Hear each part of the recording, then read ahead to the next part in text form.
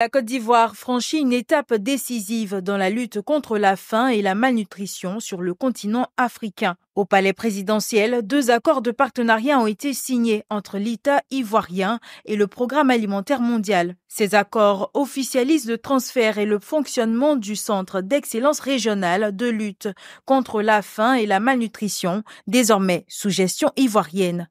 En signant ces accords aujourd'hui, le Programme alimentaire mondial réaffirme son engagement à travailler main dans la main avec l'État de Côte d'Ivoire ainsi qu'avec les autres acteurs régionaux et internationaux pour accélérer la mise en œuvre des initiatives novatrices pour soutenir les gouvernements dans le renforcement des capacités nationales et mobiliser davantage des ressources afin de maximiser l'impact de nos actions. Pour Emmanuel Kofi Aoutou, directeur de cabinet du vice-président de la République, cette signature marque le début d'une nouvelle ère pour le CERFAM qui symbolise l'engagement de la Côte d'Ivoire à construire un avenir résilient et sans fin pour l'Afrique. Les nouveaux accords traduisent la quête d'une solidarité forte et d'une synergie entre les États africains, le système des Nations Unies, les partenaires au développement et les organisations philanthropiques en vue d'arriver à bout de la faim et de la malnutrition en Afrique.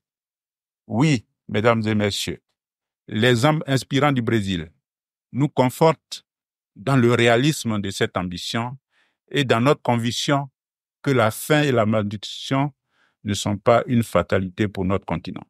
Créé en 2018, le CERFAM est un pôle stratégique pour l'Afrique, dédié au partage d'innovations et de bonnes pratiques pour lutter contre l'insécurité alimentaire. Avec un budget annuel de 900 millions de francs CFA, il devient un acteur clé pour bâtir des solutions durables sur le continent.